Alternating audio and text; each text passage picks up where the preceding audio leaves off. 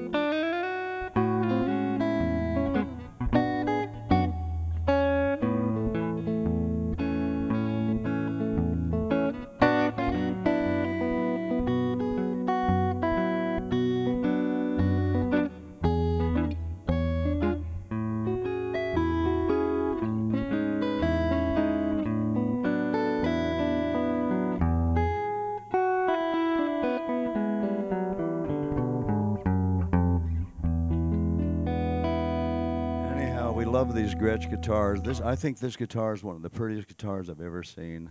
And I understand that they only made 12 of them in blonde.